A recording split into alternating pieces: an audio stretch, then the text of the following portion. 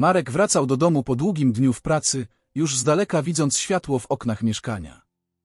W drodze rozmyślał o codziennych sprawach, zmęczeniu i nadchodzącym weekendzie, który miał być jego odpoczynkiem od ciągłego biegu. Gdy wszedł do mieszkania, przywitała go żona, Klaudia, z promiennym uśmiechem na twarzy. Cześć, kochanie. Odezwała się, prawie skacząc w jego stronę. Zatrzymała się na chwilę i spojrzała na niego w sposób, jakiego dawno u niej nie widział, pełen emocji i wyczekiwania. Cześć, Klaudia. Marek odwzajemnił uśmiech, zastanawiając się, co takiego musiało się wydarzyć, żeby Klaudia była aż tak szczęśliwa. Mam dla ciebie niespodziankę. Powiedziała tajemniczo, biorąc jego dłonie i patrząc mu prosto w oczy. Och, naprawdę? Marek zmarszczył brwi, próbując zgadnąć. Co takiego? Marek, będziesz tatą. Wypaliła, nie mogąc powstrzymać ekscytacji. Jej oczy lśniły, a uśmiech poszerzył się jeszcze bardziej. Marek poczuł, jakby nagle zapomniał, jak się oddycha. Wiadomość uderzyła w niego z siłą fali, która rozwiewała cały jego świat. Patrzył na Klaudię w absolutnym oszołomieniu, próbując zrozumieć, co właśnie usłyszał. Będziesz tatą, te słowa wciąż rozbrzmiewały mu w uszach. Serce biło mu coraz mocniej, ale zamiast radości poczuł niepokój. Od jak to?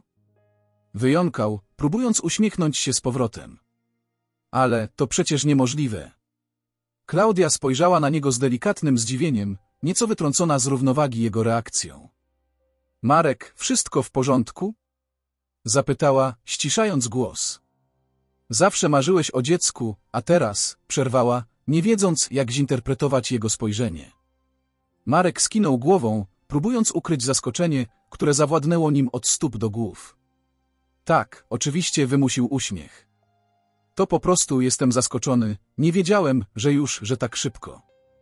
Wiem, to nagłe, ale cieszę się, że to z tobą przeżyje. Klaudia przytuliła się do niego, a on objął ją mechanicznie, wciąż w szoku.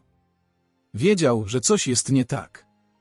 Jego myśli wracały do diagnozy sprzed roku do momentu, w którym lekarz, bez żadnych złudzeń, powiedział mu, że nie będzie mógł mieć dzieci. Próbował poukładać wszystko w głowie, ale czuł, że sytuacja wymyka mu się z rąk. Jego własna żona była w ciąży, a on był bezpłodny. Jak to możliwe? Po początkowym szoku Marek starał się wrócić do normalności. Próbował tłumaczyć sobie, że to może pomyłka, że może lekarz się mylił.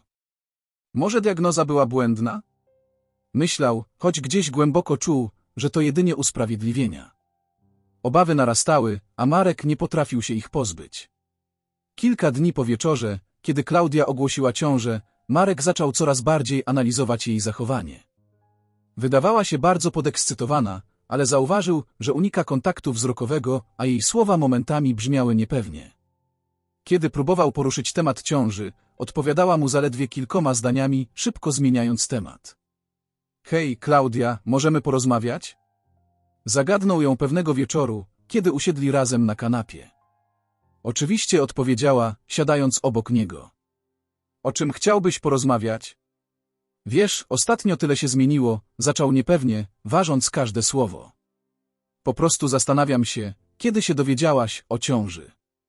Klaudia spuściła wzrok, zaskoczona pytaniem. No, jakieś dwa tygodnie temu odpowiedziała szybko. Dlaczego pytasz? Marek czuł, jak jego serce bije coraz mocniej. Dwa tygodnie temu? Coś w jej głosie brzmiało dziwnie, jakby starała się coś ukryć. Cieszę się, naprawdę odpowiedział po chwili milczenia, ale nie był w stanie ukryć narastających wątpliwości. Po prostu myślałem, że może porozmawiamy o tym wcześniej, że zauważę coś wcześniej. Klaudia wydawała się speszona. Wstała z kanapy, odwracając się od niego, jakby chciała uniknąć dalszej rozmowy. Marek, proszę cię, nie zaczynajmy tego wieczoru od dziwnych rozmów, powiedziała cicho. Chcę, żebyśmy byli szczęśliwi. Marek przytaknął, choć myśli burzyły się w jego głowie.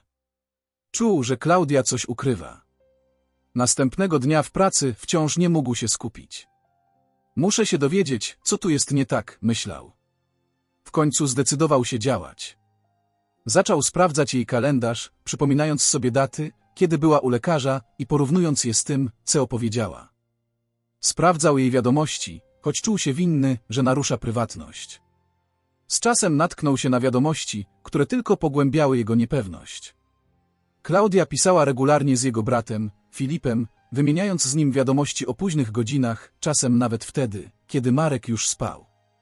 Im więcej analizował, tym bardziej wzrastało jego przeczucie, że to Filip jest zamieszany w całą sprawę.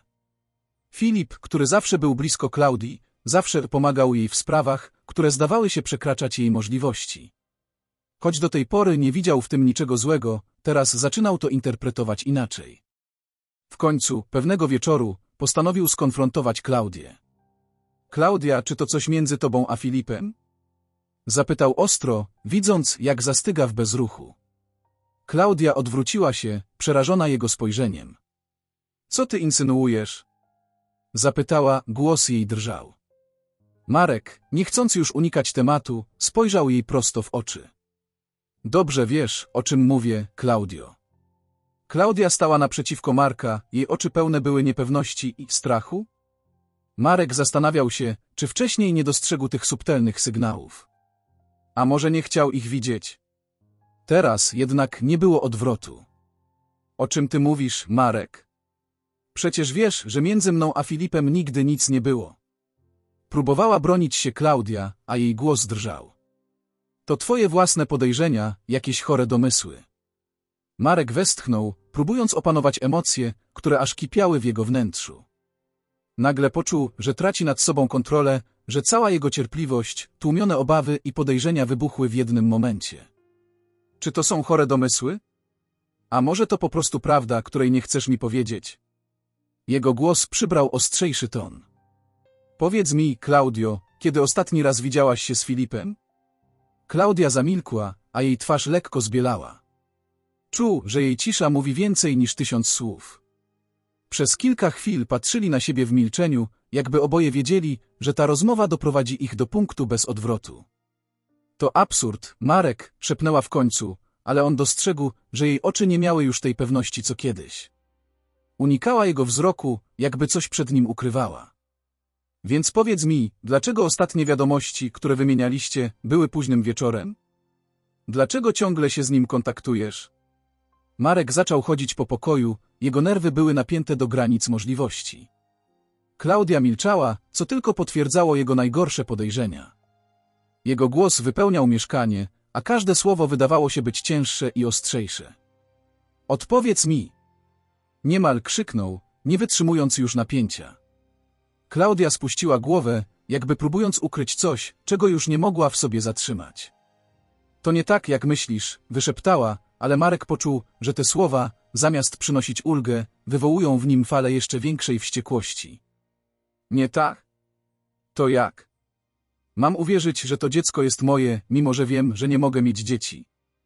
Zapytał gorzko, a jego słowa były jak zimny nóż, który wbijał się w serce.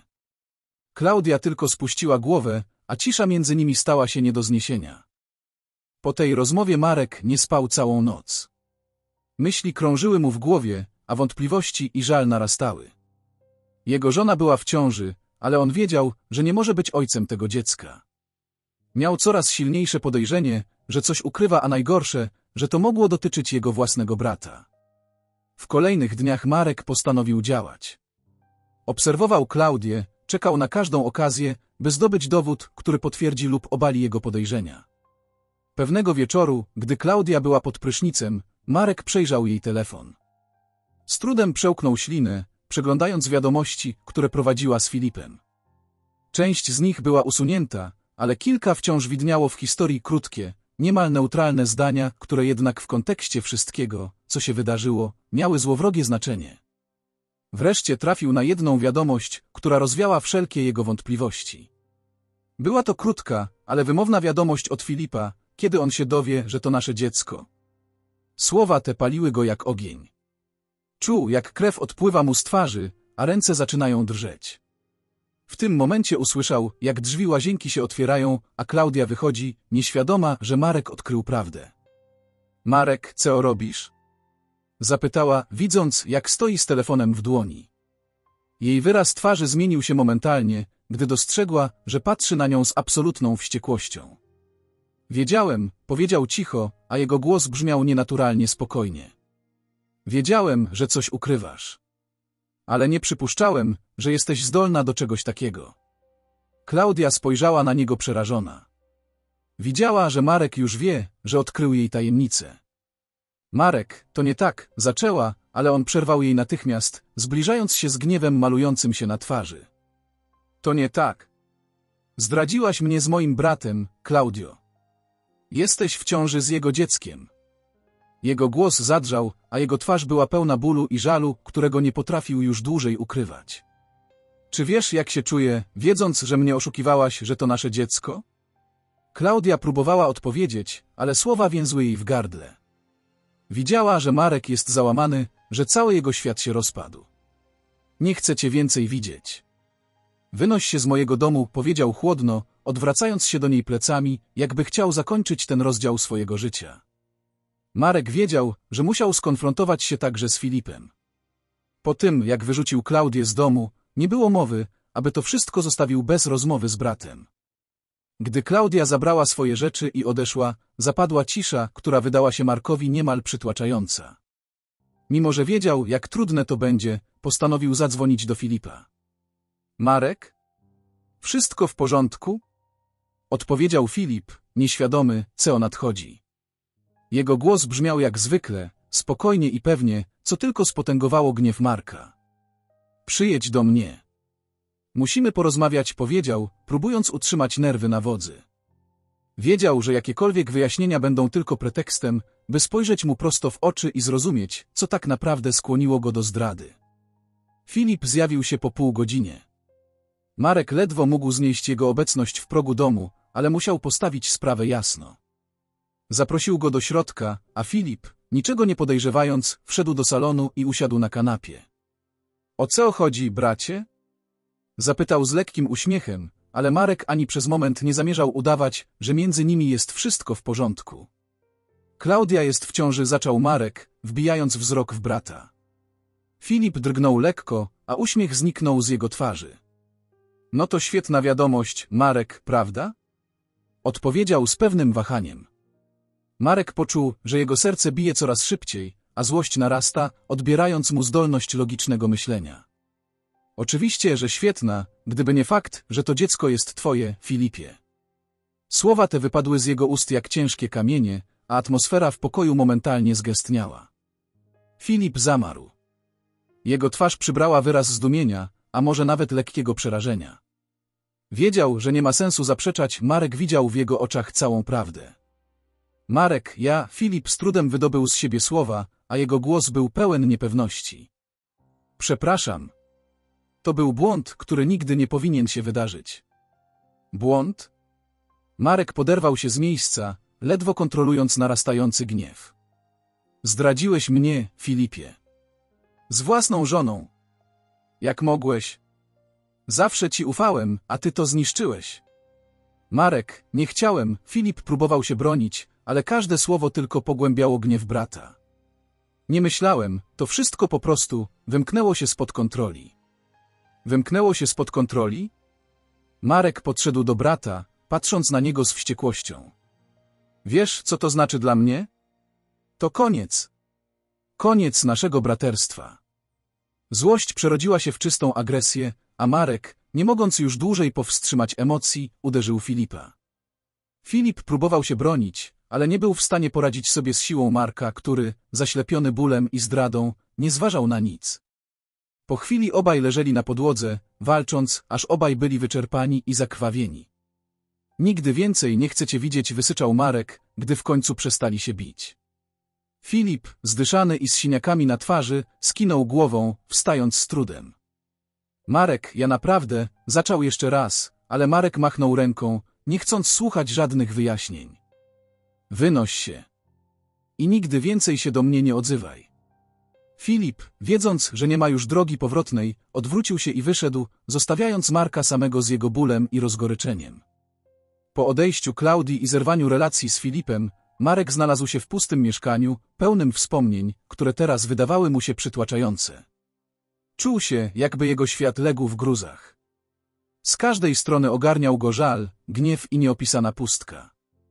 Mijały dni, a on starał się znaleźć w tej nowej, brutalnej rzeczywistości. Wiedział, że musi się pozbierać, ale każde wspomnienie związane z Klaudią lub Filipem przypominało mu o zdradzie, jakiej doświadczył. Z trudem wracał do pracy, unikał spotkań ze znajomymi, a życie toczyło się dla niego w zwolnionym tempie. Jednak po pewnym czasie Marek zrozumiał, że musi zrobić coś dla siebie, żeby choć trochę wyjść z tego stanu. Zaczął od drobnych zmian. Przemeblował mieszkanie, usunął zdjęcia, które przypominały mu o Klaudii i pozbył się rzeczy, które mogłyby przywoływać bolesne wspomnienia. Postanowił też poszukać wsparcia. Choć na początku trudno było mu otworzyć się przed kimkolwiek, zdecydował się na terapię.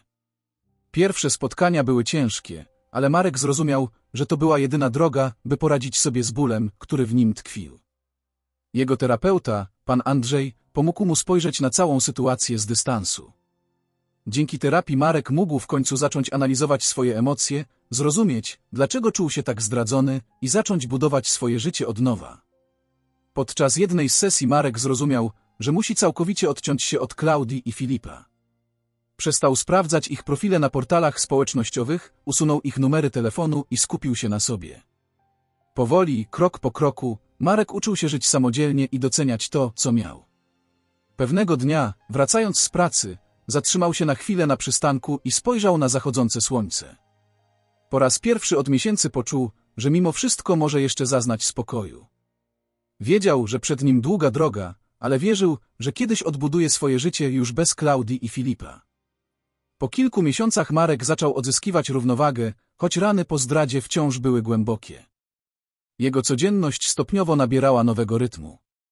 Praca, terapia, hobby małe rzeczy stawały się jego fundamentem, na którym próbował budować na nowo swoje życie.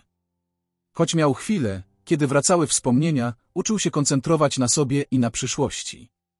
Marek ponownie zaczął spotykać się ze znajomymi, tymi, którzy oferowali mu wsparcie w najgorszych chwilach. To oni dawali mu odwagę, by powoli wychodzić z cienia przeszłości. Czasem organizowali wspólne wyjścia, kolacje, a Marek doceniał ich obecność. Czuł, że dzięki nim w jego życiu pojawiało się coraz więcej światła. Pewnego wieczoru, podczas kolacji z przyjaciółmi, spotkał Magdę ciepłą, uśmiechniętą kobietę o dużych, pełnych życzliwości oczach. Znajomi wprowadzili ją do grupy, a ona szybko nawiązała kontakt z Markiem, zagadując go o drobnostki, pytając o jego pracę i zainteresowania. Marek, choć początkowo niepewny, szybko zauważył, że jej obecność działa na niego uspokajająco. Rozmowa z Magdą była lekka i naturalna. Nie oczekiwała od niego żadnych wyznań ani deklaracji, po prostu była sobą. Marek poczuł, że z nią może być sobą również i że nie musi niczego udowadniać. Było to uczucie, jakiego dawno nie doświadczył poczucie spokoju i akceptacji. Po kolacji Magda podeszła do niego, a jej oczy lśniły w świetle wieczornego oświetlenia miasta. Fajnie było cię poznać, Marku powiedziała z delikatnym uśmiechem. Może kiedyś znowu się spotkamy? Marek, choć niepewny, odpowiedział z lekkim uśmiechem. Z przyjemnością. Chętnie porozmawiamy jeszcze raz. I w ten sposób zaczęła się ich znajomość, która, choć powolna, dała Markowi nową nadzieję. Czas płynął, a Marek coraz częściej spotykał się z Magdą. Z czasem stała się dla niego kimś więcej niż tylko znajomą. Zaufanie, które zaczął do niej czuć, rosło z każdym spotkaniem, aż w końcu Marek zrozumiał, że Magda stała się jego bliską przyjaciółką. A może nawet kimś więcej. Jednak przeszłość wciąż rzucała na niego cień. Bywały dni, kiedy wspomnienia o Klaudii i Filipie powracały, zwłaszcza wtedy, gdy czuł się najbardziej bezbronny. Pomimo terapii i wsparcia przyjaciół, zdrada, jakiej doświadczył, pozostawiła w nim głębokie rany, które czasem nadal boleśnie się odzywały. Pewnego dnia Marek przypadkowo natknął się na Filipa w mieście. Było to krótkie, przypadkowe spotkanie, którego obaj zdawali się nie chcieć, ale sytuacja wymusiła, by choć na chwilę wymienili spojrzenia. Filip wyglądał na zmęczonego i przygnębionego, jakby cierpiał równie mocno jak Marek. Przez moment Marek poczuł, że być może ich ból jest podobny, że obaj poniesieli stratę i muszą zmierzyć się z konsekwencjami swoich działań. Marek, Filip zaczął cicho, jakby szukał słów, które mogłyby zmazać wszystkie wyrządzone krzywdy. Nie. Nic nie mów, Filipie przerwał mu Marek, próbując opanować emocje, które zaczęły się w nim na nowo tlić. Nic nie przywróci tego, co zniszczyłeś. Filip skinął głową, nie próbując się bronić ani tłumaczyć. Wiedział, że to spotkanie nic nie zmieni, że nie można cofnąć czasu. Marek odwrócił się, chcąc zakończyć to przypadkowe spotkanie i ruszyć dalej w swoim życiu. Jednak to spotkanie przypomniało mu o ranach, które nadal w nim były. Marek zrozumiał, że choć może zacząć nowe życie, będzie musiał żyć ze świadomością przeszłości. Tego dnia, po powrocie do domu, długo rozmawiał z Magdą, która okazała mu pełne zrozumienie. Jej obecność przynosiła mu ukojenie, a Marek zrozumiał, że znalazł w niej prawdziwego przyjaciela. W końcu złożył obietnicę sobie i Magdzie, że zrobi wszystko, aby nie pozwolić przeszłości rządzić jego przyszłością. Przebaczenie może nie było możliwe, ale Marek zrozumiał, że choć nie zapomni, może nauczyć się żyć dalej, już nie jako człowiek zdradzony, lecz jako ktoś, kto zaczyna budować od nowa. Czas mijał, a Marek coraz częściej spotykał się z Magdą, która stopniowo stała się najważniejszą osobą w jego życiu. Ich relacja, choć powolna i niepozbawiona ostrożności, rozwijała się w naturalny sposób.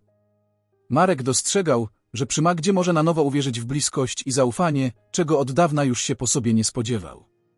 Pewnego wieczoru, podczas spaceru po parku, Marek nagle zatrzymał się, patrząc na Magdę z uśmiechem, który krył w sobie wdzięczność i szczerość. Wiesz, Magda, myślałem, że nigdy nie będę w stanie z kimś porozmawiać tak, jak rozmawiam z tobą, powiedział cicho, lekko opuszczając wzrok. Po tym wszystkim, co się wydarzyło, nie wierzyłem, że jeszcze komuś zaufam. Magda uśmiechnęła się ciepło, ujmując jego dłoń. Marek, każdemu zdarza się upaść. Ważne, żeby się po tym wszystkim podnieść, odpowiedziała łagodnie. Cieszę się, że mogę być częścią twojego życia. W tych słowach Marek poczuł coś więcej, coś, co na nowo budowało w nim nadzieję i pozwalało na spokój, który tak długo był dla niego nieosiągalny. Magda okazała się nie tylko przyjaciółką, ale też osobą, z którą zaczął snuć plany na przyszłość. Wiedział, że przed nimi długa droga, ale wierzył, że oboje będą potrafili przetrwać wszystkie przeszkody. Marek powoli wkraczał w nowy rozdział życia. Dzięki wsparciu Magiedy i terapii, którą kontynuował, czuł się silniejszy i gotowy, by stawić czoła nowym wyzwaniom. Jego życie zdawało się wracać do normy, a on sam na nowo odkrywał, kim jest i czego pragnie. Czuł, że odnalazł równowagę, o której od dawna marzył. Jednak przeszłość nie dała o sobie zapomnieć tak łatwo. Pewnego dnia Marek otrzymał wiadomość od Klaudii. Wiadomość była krótka i nieoczekiwana, pełna wyrzutów i próśb. Klaudia pisała, że czuje się samotna, że potrzebuje rozmowy i że pragnie, aby przynajmniej spróbowali wyjaśnić sobie wszystko, co między nimi zaszło. Prosiła o drugą szansę, o możliwość rozmowy i o to, by Marek jej wybaczył. Marek poczuł, jak wracają wspomnienia bolesne obrazy z przeszłości, słowa, które zraniły go bardziej niż cokolwiek wcześniej. Z jednej strony czuł, że zamknął już ten rozdział, że nowy etap życia, który zaczynał z Magdą, jest zbyt ważny, aby pozwolić Klaudii na powrót. Z drugiej jednak strony czuł cień współczucia, wspomnienie dobrych chwil, które również były częścią ich historii. Po długich przemyśleniach, Marek postanowił odpowiedzieć. Wiedział, że unikanie konfrontacji z przeszłością mogłoby tylko przedłużać jego cierpienie. Napisał do Klaudii, zgadzając się na spotkanie, ale wyraźnie zaznaczył, że będzie to jedynie rozmowa, bez szans na odbudowanie czegokolwiek, co już dawno zostało zniszczone. Spotkali się w małej kawiarni na obrzeżach miasta. Klaudia wyglądała inaczej, była zmęczona, niepewna, jakby wydarzenia ostatnich miesięcy odcisnęły na niej widoczny ślad. Gdy tylko zobaczyła Marka, spuściła wzrok, wiedząc, że ich spotkanie nie będzie łatwe. Marek, dziękuję, że przyszedłeś, zaczęła, starając się zebrać w sobie odwagę. Wiem, że popełniłam błąd, którego nigdy nie będę w stanie naprawić. Chciałam tylko przeprosić cię. Marek spojrzał na nią z chłodnym spokojem, choć w środku odczuwał mieszankę różnych emocji. Wiesz, Claudio, ta zdrada zniszczyła wszystko, co miałem, odpowiedział spokojnie. Ale po tych wszystkich miesiącach zrozumiałem, że życie toczy się dalej. Jestem teraz w innym miejscu i, szczerze mówiąc, nie chcę już wracać do tego, co było. Klaudia, słysząc jego słowa, skinęła głową, a w jej oczach pojawiły się łzy. Wiedziała, że Marek mówił prawdę, nie było już dla nich przyszłości, nie było szansy na odbudowanie tego, co rozpadło się na kawałki. Po tej rozmowie Marek poczuł, że jego serce jest lżejsze. Była to ostateczna konfrontacja z przeszłością, która pozwoliła mu zamknąć ten bolesny rozdział. Czuł, że odzyskał pełną kontrolę nad swoim życiem i że może zacząć budować przyszłość, już bez cieni przeszłości. Po rozmowie z Klaudią Marek czuł, że ostatecznie zamknął rozdział swojego życia, który pełen był bólu, zdrady i rozczarowania. Wiedział teraz, że przeszłość nie będzie już kontrolować jego przyszłości, a jedynie służyć jako lekcja, by nigdy więcej nie pozwolić na to, by ktoś tak go zranił. Jego życie z Magdą stawało się coraz bardziej stabilne i pełne ciepła. Dzielili się swoimi marzeniami, planowali wspólne podróże, a Marek, po raz pierwszy od długiego czasu, czuł, że może zacząć od nowa. Magda wspierała go w każdym kroku, a on sam powoli odbudowywał poczucie własnej wartości, które wcześniej tak bardzo nadwyrężyła zdrada.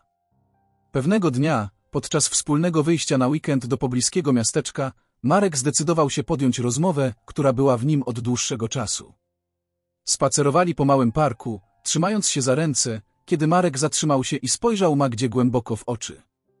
Magdo, od kiedy cię poznałem, moje życie stało się spokojniejsze i pełniejsze zaczął, próbując zebrać wszystkie myśli. Wiem, że jeszcze niedawno byłem człowiekiem pełnym gniewu i żalu, ale twoja obecność pomogła mi stanąć na nogi. Magda uśmiechnęła się delikatnie, słysząc jego słowa.